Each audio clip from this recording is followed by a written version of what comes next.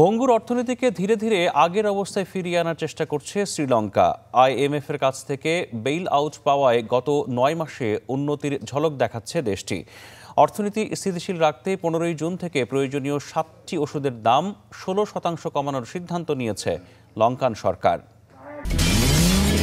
এবার নগদ দিয়ে মোবাইল রিচার্জও জিতে নিতে পারেন বিএমডব্লিউ গাড়ি।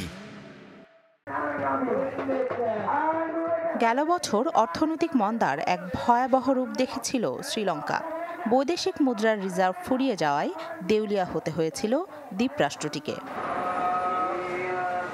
খাদ্য ও জ্বালানির অস্বাভাবিক দাম বৃদ্ধির জেরে জনরোষে গদি ছাড়তে বাধ্য হন প্রধানমন্ত্রী মাহিন্দা রাজাপাকসে ও প্রেসিডেন্ট গোতাবায়া রাজাপাকসে।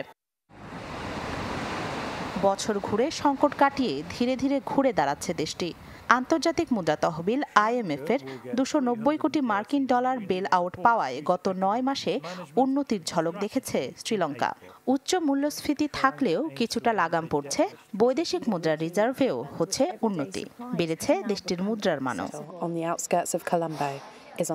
আগামী পনেরোই জুন থেকে প্রয়োজনীয় ষাটটি ওষুধের দাম ষোলো শতাংশ কমানোর ঘোষণা দিয়েছে সরকার ফলে কমবে স্বাস্থ্যসেবার খরচও।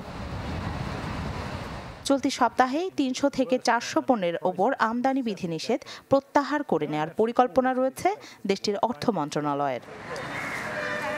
সংকট শুরুর পর দু হাজার বিশ সালের মার্চে যানবাহন, প্রসাধনী সামগ্রী ও মদ সহ বিভিন্ন বিলাস পণ্যের আমদানি নিষিদ্ধ করে শ্রীলঙ্কা সরকার। চলতি বছর শ্রীলঙ্কার অর্থনীতি তিন শতাংশ সংকুচিত হতে পারে বলে পূর্বাভাস আইএমএফের। গেল বছর এই হার ছিল সাত দশমিক আট শতাংশ। রাখি জেসমিন, চ্যানেল টোয়েন্টি